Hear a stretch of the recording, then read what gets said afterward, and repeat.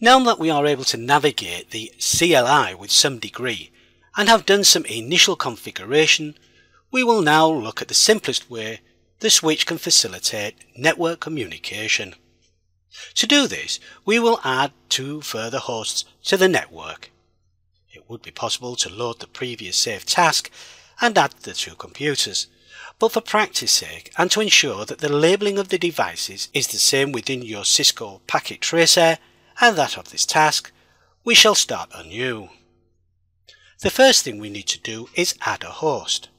So we click on End Devices, Generic Host, and drag that onto our workspace. Next, for the 2960 switch, we select Network Devices, Switches, 2960 switch, and drag that onto our workspace.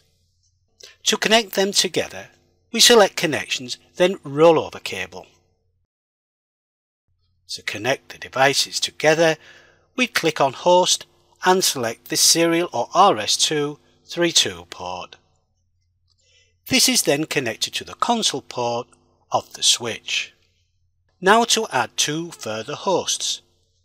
End devices, then drag two hosts onto the workspace. In reality, these two hosts will need connecting to the switch, so once again we select Connections, and this time we shall use the copper straight through cable. This will be connected to the Ethernet 01 of the switch and to the Ethernet 0 of the first host.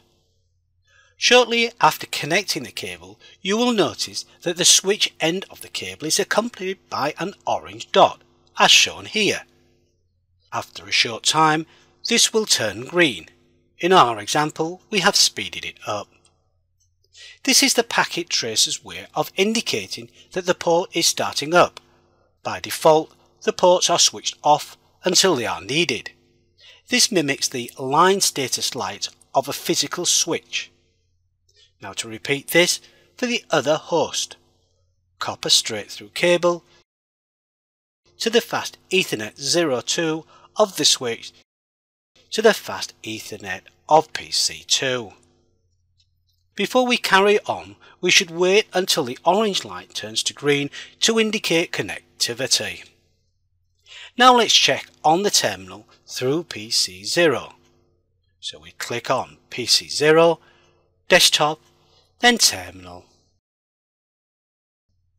Notice here that you will see several messages that have appeared to indicate that some of the ports on the switch have changed their status. We shall minimize the terminal rather than closing it as we shall monitor the activity of the switch during the rest of this task. Now to assign some IP addresses to our hosts. So we click on PC1, Config tab, then on Ethernet 0 adapter. We can enter our IP address for this host 10.0.0.1 and a subnet mask of 255.0.0.0. We shall close this and repeat it for PC2. Config tab, then fast Ethernet 0 adapter and this time we shall enter the IP address of 10.0.0.2 with a subnet mask of also 255.0.0.0. Now we have the workings of a small network between PC1 and PC2. We can prove the connectivity between these hosts running the ping command. Clicking on desktop, command prompts, then first using the IP command that will check that the IP addresses have been correctly assigned. Then ping 10.0.0.1 to check successful connectivity and as we can see it is.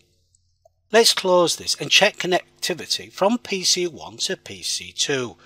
So we'll click on PC1, desktop tab, command prompt.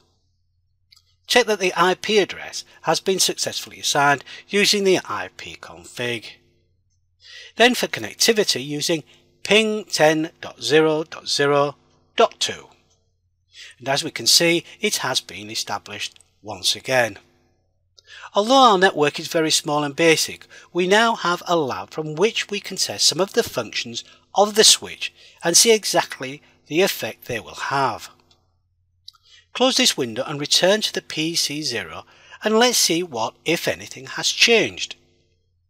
To view the interface data, we need to be in the enable mode, so we use the command enable. And to view the interface data, we use the show interfaces command.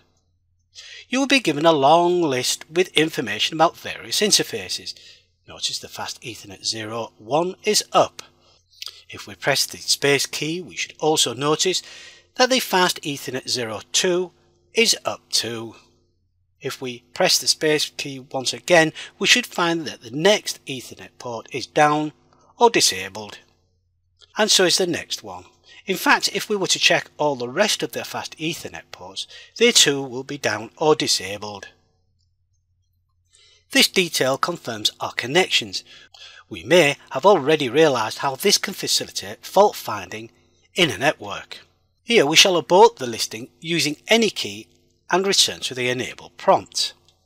It is possible to query just one single port without listing all of them.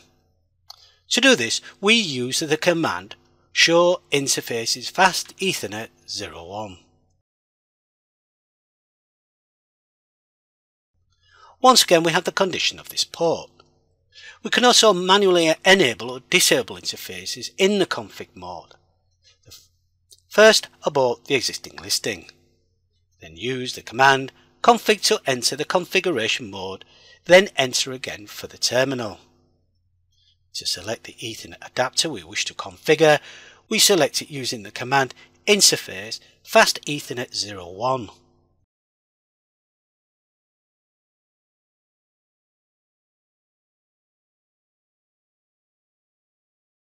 Notice again the prompt has changed to indicate the changes we make will only apply to this interface we have specified. Using the help command, it will list all the commands we can use to configure this port. To disable this port, we can use the shutdown command. So we type in shutdown. You will receive confirmation that this port has been shut down. Let's check back at the Cisco Packet Tracer minimizing the PC0 terminal window. We shall find that the copper straight through cable now has two red dots at each end indicating that there is no longer communication with the switch. We can confirm this has taken effect by clicking on the PC1 host. Command prompt, then in using the up directional key that we will repeat our last command, then press enter. As expected, communication has failed. Once again, a useful feature in fault finding or for isolating hosts in a network. To enable this adapter, we shall first close this window, then return to the terminal in PC0 and use the command no shutdown. Then return to our workspace and wait until the two green dots have returned and the ports have been re-enabled. The no section of the command told the system to do the opposite of the main command. Let's check the connectivity from PC1 to PC2 once again. Click on PC1, followed by the command prompt. Once again use the up directional key and check that successful connection has been re-established. We can also abbreviate the names of the network interfaces rather than having to type Fast Ethernet 01. We can simply use FA01. We can see this in our next example. Return to the terminal. In a large network with many hundreds of switches and hosts, it can be useful to give a description to the interface connections, as it could be problematic to trace a connection, certainly if we are using the genetic terms such as Ethernet or host etc. To add a description, we simply use the command description connected to PC2. We can see this effect if we exit to leave the command mode, then exit again to return to the enable mode. Now, if we type the command show interface FA01, this should show the description has been added. Before finishing, we shall save the running in config file using the following command.